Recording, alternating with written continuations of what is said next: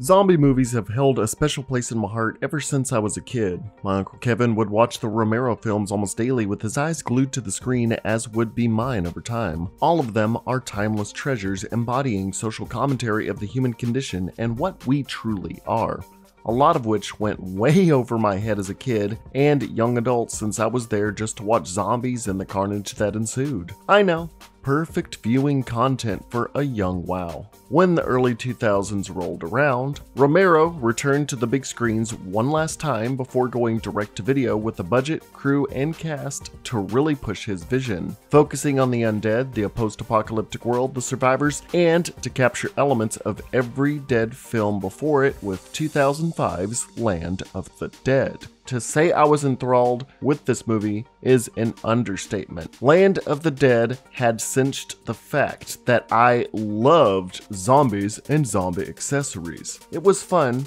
but also brutal. It was dorky, but also meaningful. It was dark, but also flashy. Land of the Dead is considered to be a real hit or miss film for many die-hard fans, usually ranked below its predecessors by critics and review outlets. Does it deserve to be shunned or praised? How does it stand as a continuation of Romero's ideas? How does it stand as its own movie dedicated to the dead, and what do its ideas represent? Today, we are discussing Land of the Dead, a swan song in zombie cinema.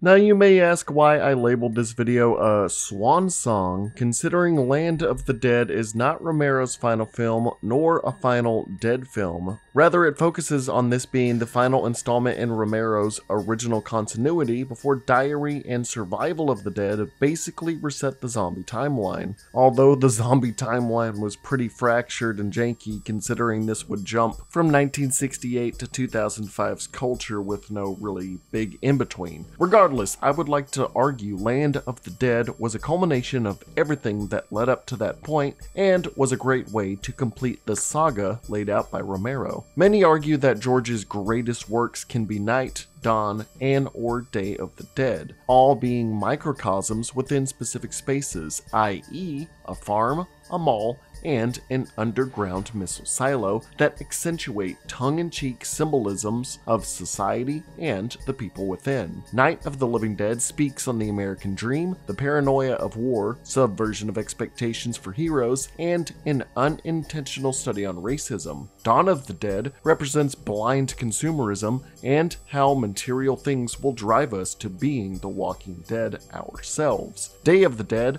was on humanity being its own worst enemy and how we can be the real monsters. Is it tongue in cheek?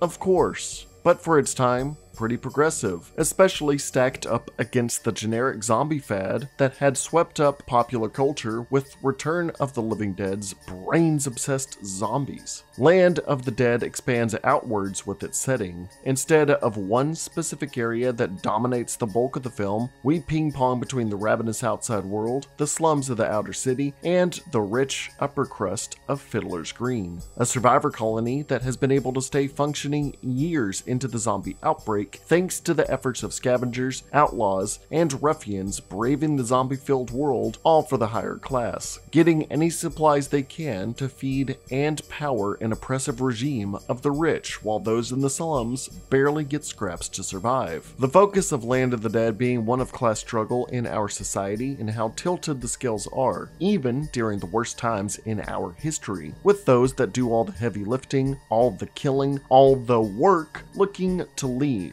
and fend for themselves, even if it means going into the harsh elements of the land of the dead, while the wealthy sit back and enjoy the spoils, and the poor rest more and more in squalor. Land also coincides with another progression of Romero's films, and that is the evolution of the living dead. While Night had the dead as pure ghouls eating flesh, Dawn had shown the dead had retained a modicum of their former selves, even if it were to just mindlessly flock to the mall and remember parts of their past lives, and Day showing Bub being an isolated case that zombies did in fact hold the capacity to learn, to want more than to just eat flesh, and to even empathize and adapt. Land of the Dead goes all out in the exploration of the zombie's evolution, with the titular zombie Big Daddy leading the progression from near mindless undead to near critical thinking primitives of the zombie horde. There is so much at play that I feel that this movie was the culmination of everything Romero had worked on and towards, having the largest budget of all of his films by far, even beating out Dawn of the Dead's 1978 budget that would adjust to about $6 million in 2005's day, compared to Land of the Dead's budget of up to $19 million.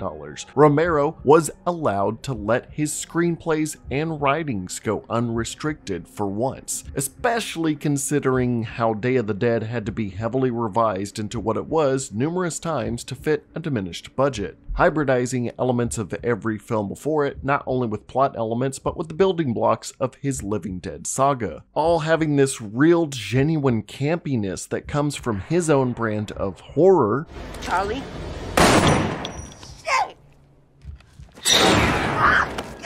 Kills.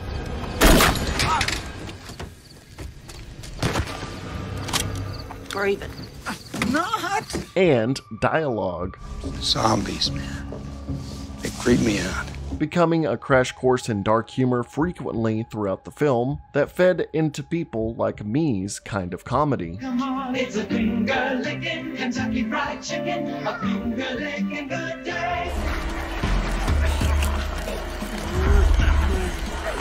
The memorability of characters and even individual zombies having iconic scenes that define the movie, and probably most important to Romero and zombie fans alike, was the unabashed and top notch gore and practical effects that I wish I could show you, but YouTube is going to censor me. A big part in Romero's legacy is not only his underlying commentary, but just the all out realistic and stellar carnage and detailed decay of every zombie. He's the godfather of the Dead for a reason. The use of practical effects and some CG in the movie really shines, going over the top with gore, body horror, and just plain goofy scenes that toy with the stomach churning concepts more. Hell, who could forget the priest zombie with his head barely hanging off his neck that just whips it to surprise bite the soldier? Classic! Land of the Dead had no shortage in talent either using its budget to enlist big name actors like John Leguizamo and Dennis Hopper. For me, a Mario Movie 93 rematch between Luigi and Bowser to dial up the scale of the film for a broader audience, but also to keep it grounded and not overly Hollywood by hiring lesser known actors like Simon Baker, striking a healthy balance between his low budget origins to finally having the budget he wanted for his full scale vision, even saying he would use elements that were originally scrapped from Day of the Dead and its limited budget, all creating a world from which a large cast of diverse characters could all exist in both separate and together environments that they eventually clash in, to make it feel like it broke the barriers of a condensed experience that again brings together everything George A. Romero had built upon and worked with for decades. Hell, even Guillermo del Toro stated this It's a cause of celebration amongst all of us that Michelangelo has started another ceiling. It's really a momentous occasion. So, for us to really sink our teeth into this movie, where better to start than the central setting of the film than Fiddler's Green? Bordered on three sides by mighty rivers, Fiddler's Green offers luxury living in the grand old style. Fiddler's Green, being the safe haven for the living as they attempt to live lives foreign from the undead outside the city limits. Fashioned together within a well preserved section of Pittsburgh, Pennsylvania, one Paul Kaufman would take to seizing it to create a veritable paradise of the wasteland, a shining beacon in the dark, parallel to something like New Vegas in Fallout. Fiddler's Green would be a slight homage to Dawn of the Dead's mall centric consumerism, showing that that way of life was what was apparently to be strived for. Speaking about fine dining at six different restaurants, being able to visit a fully stocked shopping mall, and more, depicting how, even with the world knee deep in years of zombies zombie shit that people and those with the funds that have it will still flock to places to shop and eat in luxury and pretend like nothing bad is going on. But for the small percentage of people that would enjoy the fat of the picked clean land, the rest would struggle day to day. Most people within the town would fight over scraps that were ejected from the tower in slums and ghettos. As one man puts it, He didn't build that place. He just took it over, kept the best for himself, and left us with a slum to live in. The living conditions being somewhere between the streets of Detroit and Freeside of New Vegas. Fiddler's Green's lower outskirts are a rat hole. Gambling, prostitution, drug deals, the whole nine yards, even with the general public betting on if a healthy person will die by two zombies' hands or not, with most funding going towards entertainment and games from the higher ups. Safety not being of much concern as zombies are chained up for fun, using them for picture opportunities, paintball practice, and even as high stakes ring matches, with the public not regarding how just one bite or scratch from these ghouls means the end of their own miserable lives. Although this may be in large part a reference to Shaun of the Dead, which released one year before Land of the Dead, since zombies ended up just being used for labor and entertainment purposes by the end of Shaun of the Dead. The movie even guest stars Shaun himself, Simon Pegg, and director Edgar Wright as the photo booth zombies, with Romero loving Shaun of the Dead so much that he invited these two to be main characters in Land of the Dead. But the two declined the invite and simply said they just wanted to be zombie cameos in the film. So canonically, Shaun went to the United States and turned in this timeline. Tangent aside though, people staying close to barrels of fire and bundling up in the cold with zombies pretty close to where they are, living in harsh conditions as money and food are scarce. If you want a real indicator of how bad things are, spam meat is being served in mass as a solitary dish. Yep. With how bad it was, a majority of the people were okay with the way things were simply because they were told they were safe from the world at large. The township was validated in its drastic disparity of class by the justification of its safety and protection, protected not only by natural barriers of rivers being on three sides of this peninsula, with the only accessible land portions being barricaded by high power electrical fences, all deterrents to the undead, enforced by trained armed personnel, or so it would appear to the general public. What was not known is the fact that these trained individuals were just haphazardly found paid off and given guns to give the illusion of high security defenses. For you see, the wealthy of Fiddler's Green took no initiative in their funding, no initiative in seeing actual productivity in ensuring their militia was properly given combat training on how to handle a firearm, to effectively conserve ammo, how to properly aim, and how to combat the dead when all else fails. They would waste ammunition, were clueless in close quarters combat, and were just unfit to serve in a security environment. The contrast shown when Riley, later on in the movie, had to teach a guard how to dispatch zombies without wasting all his ammo. These militia were merely just enforcers that made the public think they were safe, and were more so just bodyguards for the rich that made everyone else feel locked in. You're worried about being locked out, and I see that.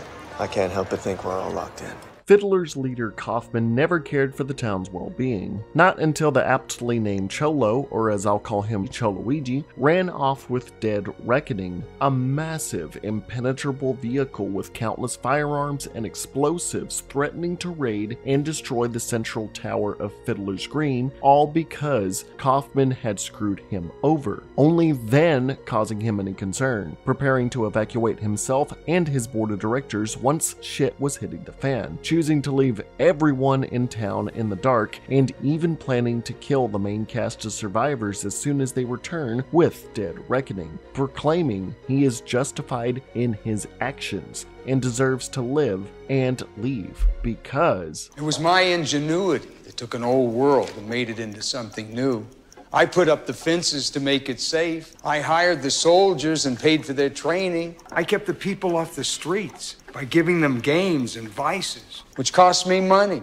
But I spend it because the responsibility is mine. Now, do you understand the meaning of the word responsibility? Saying the poor and downtrodden are being given entertainment to make up for their poor living conditions that he spent his own money for them, this is another on the nose depiction of our world situation, but not far off. Knowing the threat of both his disgruntled workers and the undead looming on the city, Kaufman would be the only person besides his faithful butler and his bags of money to escape from the city. Watch out, get out, quick. As shit was hitting the fan, the public would be unprepared and unaware, not knowing that this bubble, driven by class divide, would soon burst, with the zombies they had known for years being more than they ever bargained for, no longer games or lesser beings. While everyone lived in their microcosm of life in Fiddler's Green, the zombies out in the world were learning, adapting, and evolving. The zombies themselves have a decent chunk of time dedicated solely to them throughout the movie, really accentuating how this world is also theirs and not just something to be seen through the survivor's eyes only. This really being the first and only movie where more than one to two zombies get any real spotlight. It was absolutely necessary for them to all be given the utmost detail and makeup to make them all memorable. It almost felt necessary to have a movie from the perspective of the zombies without it being too hammy. These zombies, having absolutely no prior history to their characters being zombified, personifying an undead body does require subtle bloody details wrapped in not so subtle attire. So the makeup, the costume department, and just the visualization of these zombies was critical and was knocked out of the park. On that note, the softball girl's torn cheek exposing her mouth cavity to be seen as a zombie, but also having pronounced eyes due to her decay to accentuate her heightened and awakening emotions. The butcher, in his less gory but decayed appearance, donning his meat apron and cleaver while having eyes that barely express anything until he begins to attack and don a hellish look. Big Daddy, the leader of the zombies, having sunken in eyes and tightened skin with animalistic teeth, almost like he is a ravenous creature, but more so one that is tired constantly, looking less like a zombie and more like a living person, legitimizing his role as the leader of the newly evolving zombie herd.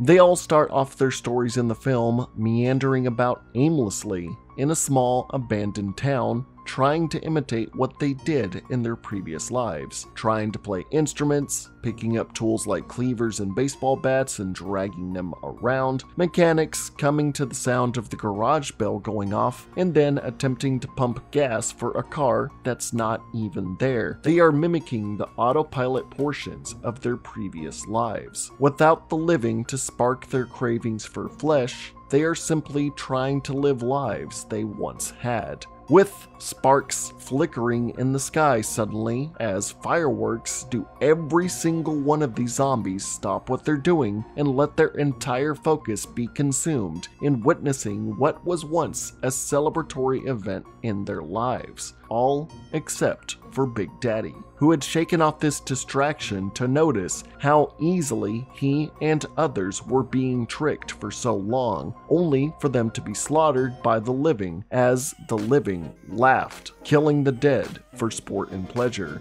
using them as target practice. Big Daddy attempts to save other zombies from being killed, only for them to be beheaded and slaughtered, even leaving Big Daddy to mercy kill one of them that was beheaded, showing his empathy that had spurred for his zombie brothers and sisters. It's from one zombie's ideas that we see the gradual progression and the alleviation of the zombie horde, and that was all done by a man, a zombie named Big Daddy. While the living bickered over control, resources, and the rights of one another while feeling safe and secure in their secluded compound, the dead slowly but surely sauntered towards the beacon of life that was Fiddler's Green in the endless darkness of the deadened night. The mission never being truly clear, whether it being the zombie horde's draw towards the only sign of life in the wastes so that they can eat, or it being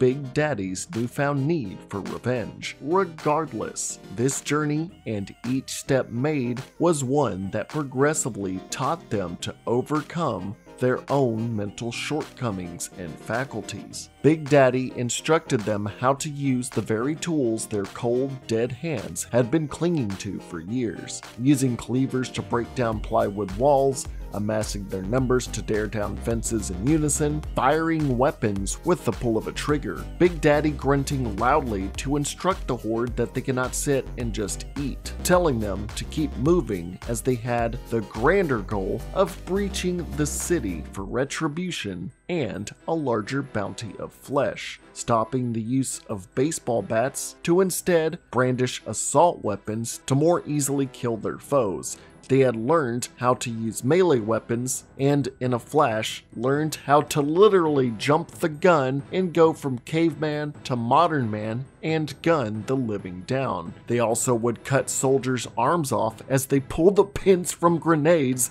so they kamikaze themselves in half.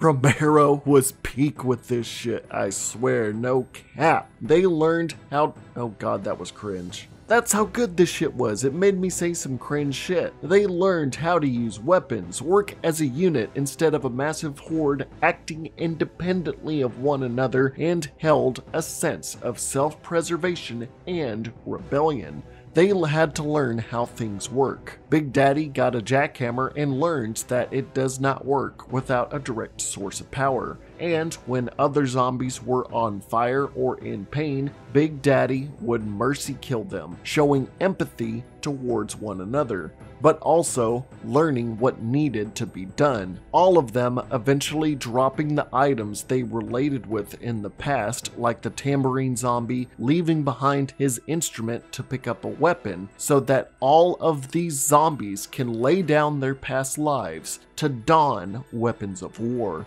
Most importantly, the undead have to overcome their natural fear of water. The one barrier, the river, has been a major barrier to hold back the dead for years, with every corpse coming to a full stop at the sight of this body of water, only for Big Daddy to make the plunge into the depths to show the others that their innate fear of drowning holds no bearing on them since they do not require oxygen to live, resulting in the iconic scene of the zombie group all slowly but surely emerging from the murky depths through vacant but determined eyes. I stated this in my iconic scenes in zombie history video, but it really needs to be reiterated. The main barricade of keeping the dead away is ineffective as they surface. The barrier that kept them from progressing not only physically but mentally was destroyed, as if rising from their graves a second time, only now as smarter and more versatile undead as a much larger threat to us. The whole film is about their evolution as primitive people, and this scene alone greatly summarizes them becoming a new form of life, looking to overthrow the people that callously killed their own who had lived so lavishly and unaware of the world. These were more than zombies that we had known. They were lesser people who gained a modicum of critical thinking, and they had much to prove as they were reborn in the still waters of the river that once served as a way of restricting their progress. It's with this barricade and the physical land barricades broken that finally the three worlds collide the good, the bad, and the ugly, the poor, the rich, and the dead. Blurring the lines on who the true evil entities are in the world once this war begins. The class issues that had been festering within Fiddler's Green for years have largely affected the ultimate fate of what should have been one of the best safe havens humanity could ask for. Sadly, with the culminating disaster that was the undead uprising and the ignorance displayed by those in power, the poor folks at ground level would be the first to be attacked by the undead, slaughtering any and everyone within the city's boundaries, killing the workers as they built up buildings and defenses, wiping out the lower class before the upper class feared any destruction. Those that would defend them would be powerless as they were completely inept at fighting back the armed security would only shoot carelessly into crowds, missing the critically obvious vital points of the zombies' heads, something they should know at this point, and instead shooting stuff like cars, causing them to explode and causing fire to break out, making the zombie invasion wholly worse for every single entity involved. Eventually, knocking at the upper class's front door, do we see them at their pinnacle state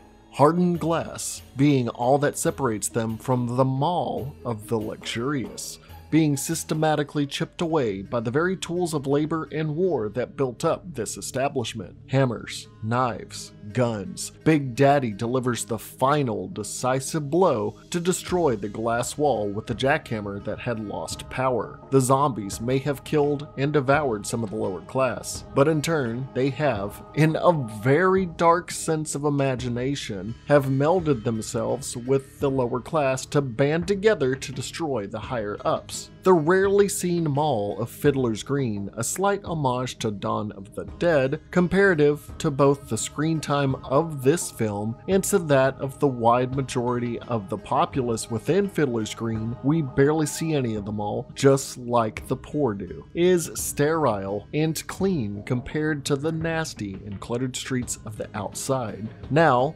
having its pure floors now bathed in the higher class's blood. All of this displaying the zombies' carnage of both their undead side and their new tool using personas, showcasing what Romero knows best zombie brutality in creative ways. Starting from the poor side, going to the rich side, ripping people open to show the creamy center, zombies spitting out belly button piercings in a comical way, silhouettes of hands being split in two in a very messed up demeanor, having the kid on the skateboard eaten alive to have his skateboard fall into the river, the grenade exploding and splitting the guy in two, even having zombie makeup legend Tom Savini guest appear as the biker zombie. A biker from Dawn of the Dead that shows up once the mall has been invaded, that turned ages ago within the 1978 film to return in Fiddler's Green to cut down civilians with a machete and a tough guy demeanor. You can tell the effects and makeup department had the time of their lives making these gruesome depictions of the zombies and what they are doing come to life. Their brutality accentuating what had been permeating for so long in the all out war it birthed within Fiddler's Green. While the city began to burn and the streets ran with its people's blood, Choluigi had been thrust out of the dead reckoning to walk to his own fate, battered, shot, and bruised, only to be bitten after getting careless when it comes to just a few zombies. After this, his new goal of starting a new life elsewhere was now gone and detracted. His longtime friend readies to kill him with a shotgun before Choluigi stops him and decides he would rather turn.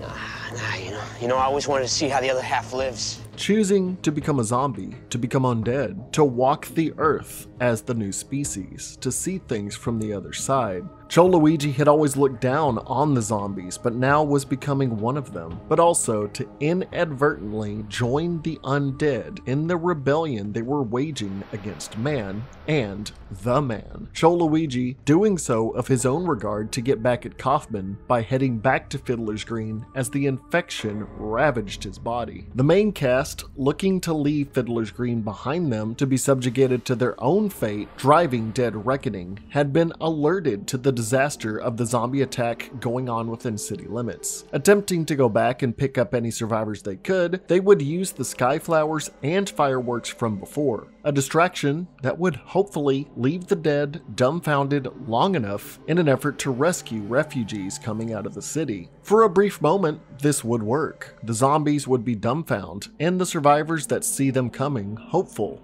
only for every single zombie to look down from the sky to the reality of the world and shake off the light show to understand they were all being duped.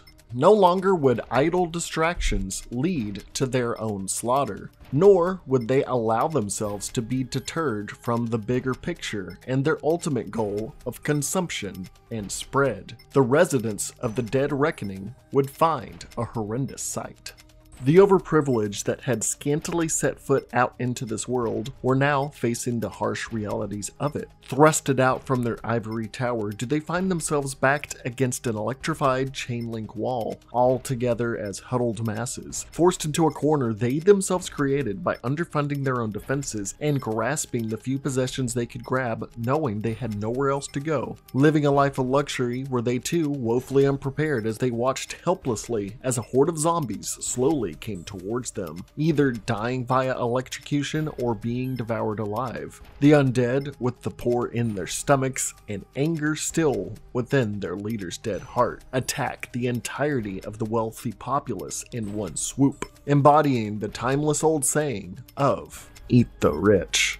In the end, nearly all of those within Fiddler's Green are reduced to nothing but victims, food, or newly created zombies. And the survivors of the Dead Reckoning can only watch as they see the last of the population utterly slaughtered.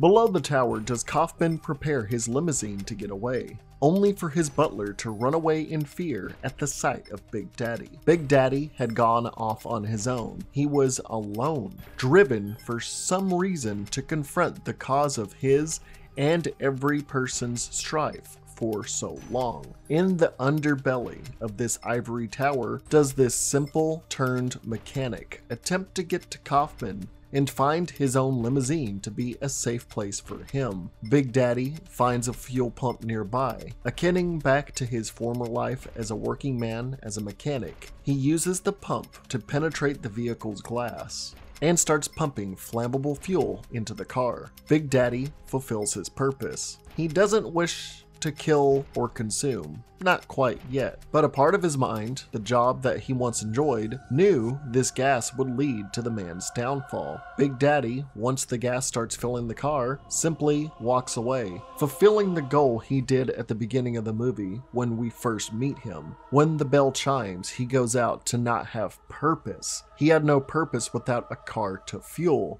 With the gas finally filling a car, he finds the purpose that he was looking for for so long. Powerless to stop him, Kaufman only watches as Big Daddy fuels the revenge that he sought, that the lower class sought, and now Choluigi saw it. Choluigi, not knowing if he's alive or dead yet, walks towards his former boss, only for Kaufman to call him a racial slur and shoot him. Choluigi falls to the ground briefly before he reemerges from the shadows, revealing he was now a zombie. In disbelief that Choluigi should be dead and is now actually dead, Luigi and Bowser face off, with Choluigi pinning Kaufman down trying to bite the man that wronged him, as Big Daddy comes out of nowhere to roll a lit canister down the ramp. Knowing fuel was flammable from his previous life and from the sacrifice of his charred comrade in the battles before, he causes the lavish limousine to explode, taking out both leader and lapdog in one fell swoop, cascading thousands of dollars into the air for it to all burn. The currency that Kaufman had betrayed so many over was now meaningless, just dust in the wind.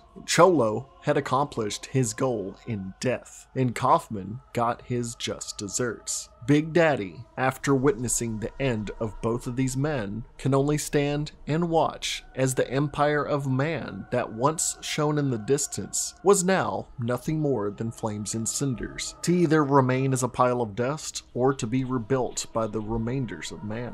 The Dead Reckoning prepares to leave as they see survivors marching marching away from the city. The disenfranchised poor folk were not all dead, and some had escaped and were looking to find new lives out in the wasteland, or by rebuilding the city. Through fate, causality, or via the unknown commands of Big Daddy to the undead, did the lives of the lower class be largely spared. The weak, downtrodden, and poor now had full reign over the city and its surrounding area. They could make it their own. As the movie comes to a close, the Dead Reckoning prepares to take off, only to catch in its sights the horde of zombies that caused all of this trouble, carnage, inhuman slaughter. Some of its crew prepares to open fire as Riley stops them, peering through his binoculars just as he did when watching them at the start of the movie. Both he and Big Daddy's eyes meet again. Big Daddy, aware of the group's and poor folks' presence, merely shrugs them off,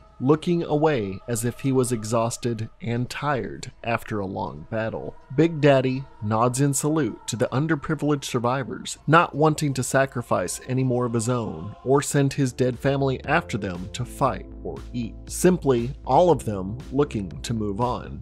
The deed was done, the war was over. A mutual understanding and respect for one another's existence, living and dead, meant this truce would persist for now. As Riley puts it, Oh. You're just looking for a place to go. Same as us.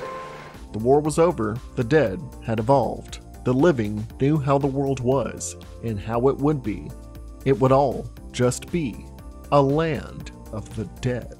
Now, the movie isn't without its flaws, mind you. It isn't a crash course in cinema forte and symbology like Romero's original trilogy. In fact, it marked more of the on the nose approach that was slowly progressing from each movie onwards that Romero would slam into your face with Diary and Survival of the Dead. But the on the nose nature of the class struggle and eat the rich mentality, mixed with Dennis Hopper's character being a bit too much of a generic fat cat, is balanced with grounded characters attempting to survive, bridged with John Leguizamo's middle ground of wanting to be a rich asshole living the luxury life at any cost, is a nice chemistry that serves its purpose well enough. If there is one thing that irritates me though about this film and most horror films in general, it is the copious amounts of forced jump scares signified with loud abrupt music and out of place actions. Chago, play some of those. Auditory warning, it's gonna get loud. Ah!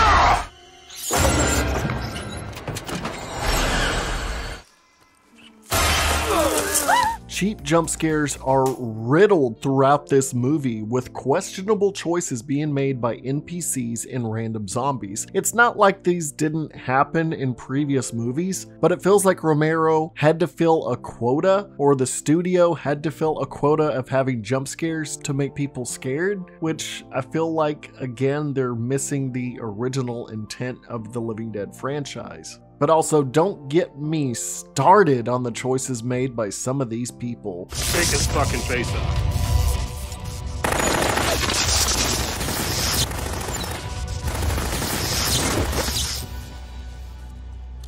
What the hell is even that? I mean, look at this guard lassoing down right in the middle of a horde to just let himself be eaten alive, or people just falling down left and right in the mall to be eaten easily. Which would make a good zombie sins. Let me know in the comments if you want a Land of the Dead zombie sins in the future. The cast of characters may feel generic at times, but they all have unique traits and genuinely cool or near golden character moments. The slow-witted and burned-faced Charlie licking his finger to wet the iron sight of his rifle to catch the glint of the metal to pop a gangster midget pimp.